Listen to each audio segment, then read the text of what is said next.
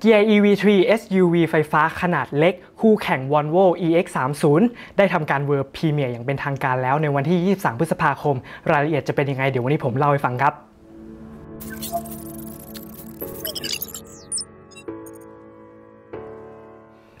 สำหรับเกียร์ EV3 เป็นไฟฟ้าขนาดเล็กที่เป็นคู่แข่งโดยตรงอย่าง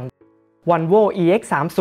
Volkswagen ID3 และ Smart One โดยคันนี้นะครับจะได้ DNA มาจาก SUV รุ่นพี่อย่างเกียร์ EV9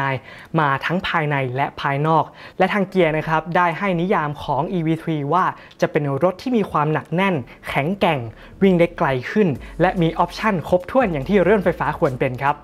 Kia EV3 ใช้แพลตฟอร์ม eGMP ทำให้ภายในห้องโดยสารกว้างขวางมากขึ้น พร้อมกับได้รับสถาปัตยกรรมแบตเตอรี่แบบ 400 โวลต์ และเคลมว่าการชาร์จจาก 10%ไปจนถึง 80%ทำได้ภายในระยะเวลา 31 นาทีเท่านั้นครับ คันนี้ได้ความจุแบตเตอรี่ให้เลือกถึง 2 ออปชันออปชันแรกก็คือแบตเตอรี่ความจุ 58.3 กิโลวัตต์อวสำหรับ Standard Range และ 81.4 กิโลวัตต์อวสำหรับรุ่น Long Range สามารถทำระยะวิ่งได้สูงสุด 560 กิโลเมตรต่อการชาร์จ ตามมาตรฐาน WLTP และ EV3 คันนี้ได้มอเตอร์เดี่ยวพละกำลัง 201 แรงม้า แรงบิดอยู่ที่ 283 นิวตันเมตร แม้ว่าตอนนี้จะยังไม่มีรายละเอียดที่ชัดเจนเกี่ยวกับสเปคทั้งหมด แต่เราคาดว่าในรุ่นที่เป็นมอเตอร์คู่ขับเคลื่อน 4 ล้อหรือว่า all wheel drive จะเป็นในรุ่นของ EV3 GT Line นั่นเอง ที่จะเปิดตัวหลังจากที่ทำการเปิดตัว EV3 อย่างเป็นทางการที่เกาหลีนั่นเองครับ ทาง Kia กล่าวว่า EV3 คันนี้จะได้ระบบ ADAS มามากมายอย่างเช่น EDT VC Electric Dynamic Torque Vectoring Control ทำให้ตัวรถนะครับสามารถควบคุมการจ่ายกำลังไฟฟ้าได้อย่างสมูทและนิ่งมากยิ่งขึ้นถึงระบบ ADAS ที่ควรจะมีอื่นๆ ด้วยเช่นกันครับ และคันนี้มาพร้อมกับระบบ iPadO 3.0 เวอร์ชันล่าสุดทำให้การขับขี่ด้วยคันเร่งอย่างเดียวทำได้ดีมากยิ่งขึ้น โดยสามารถปรับตั้งค่าผ่าน Paddle Shift หลังพวงมาลัยได้ อีกทั้งนะครับ EV3 ยังรองรับระบบ Vehicle to Load หรือว่า V2L ด้วยเช่นกันครับสำหรับการออกแบบภายนอกของเกียร์ EV3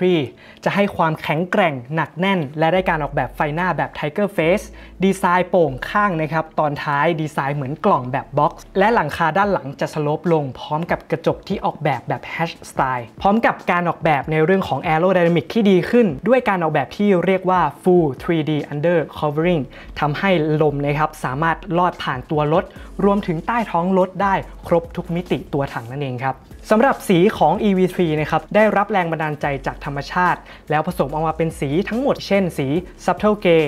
Warm Gray Blue รวมถึงสีอย่าง Onyx Black ที่จะเป็นสีพิเศษเฉพาะในรุ่นท็อปอย่าง GT Line ครับ ในส่วนของการออกแบบภายในของเกียร์ EV3 คันนี้ จะใช้วัสดุรักโลกหลายส่วน เช่นผ้ารีไซเคิลบนแผงหน้าปัด รวมถึงขอบประตู รวมถึงชิ้นส่วนอื่นๆ ภายในรถสำหรับเบาะที่นั่งและที่วางแขนรวมถึงพรมนะครับ จะใช้วัสดุพลาสติกรีไซเคิลจากการก่อสร้างนั่นเอง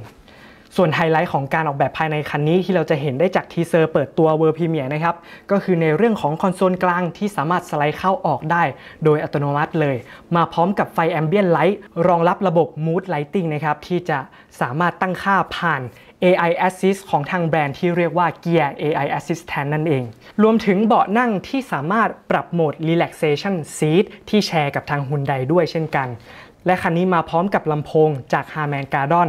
อีกทั้งนะครับหลังพวงมาลัยก็จะมีจอ Head Up Display ขนาด 12 นิ้วให้ได้ใช้งาน ส่วนจอกลางนะครับขนาด 30 นิ้วแบบ Wide Screen ที่ได้แชร์มาจากรุ่นพี่อย่างเกียร์ EV9 ให้ได้ใช้งานอีกด้วยนั่นเองครับ และในคลิปทีเซอร์นะครับเราจะเห็นได้ว่าในเรื่องของระบบ Infotainment คันนี้ จะรองรับแอปพลิเคชันพวก Premium Streaming ต่างๆ ยกตัวอย่างเช่น Netflix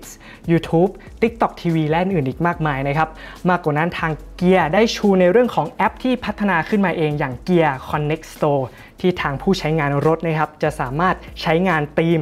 ให้กับตัวหน้าจอกลางได้หลากหลาย ยกตัวอย่างเช่นในคลิปนะครับ จะเป็นการโชว์ธีมของ NBA Display ทำให้ผู้ใช้งานไม่เบื่อในการใช้งานกับตัวรถนั่นเองครับ สำหรับราคาของเกียร์ EV3 ยังไม่มีการคอนเฟิร์มแต่อย่างใด แต่ทาง CEO ของทาง Kia นะครับบอกกับทางสื่อต่างชาติว่า ราคาจะเริ่มต้นอยู่ประมาณ 35,000ถึง50,000 เหรียญสหรัฐ หากคำนวณเป็นเงินไทยจะอยู่ที่ 1.3 ถึง 1.8 ล้านบาทครับสำหรับเกียร์ EV3 นะครับจะเปิดตัวอย่างเป็นทางการที่ประเทศเกาหลีในช่วงเดือนกรกฎาคมนี้ และจะเปิดตัวในตลาดยุโรปภายในช่วงสิ้นปีนี้ รวมถึงตลาดอย่างออสเตรเลียด้วยเช่นกันสำหรับแฟนๆเกียร์ในประเทศไทยนะครับก็ต้องมารอลุ้นกันว่าทางแบรนด์จะสามารถนำเกียร์ EV3 ที่เป็น SUV compact ไซส์เล็กที่สุดมาทำการตลาดในประเทศไทยในช่วงไหนนั่นเองครับ และนี่ก็คือสรุปเกี่ยวกับเกียร์ EV3 สำหรับ World Premier ที่ผ่านมานะครับยังไงก็ตามอย่าลืมกดติดตามช่อง iMod ไว้ เพื่อที่จะไม่ได้พลาดข่าวสารดีๆ และการอัปเดต รวมถึงรีวิวรถยนต์ไฟฟ้าคันใหม่ๆทุกคนชมกันนะครับ วันนี้ผมนนท์ไอมดต้องขอตัวลาไปก่อน ขอบคุณและสวัสดีครับ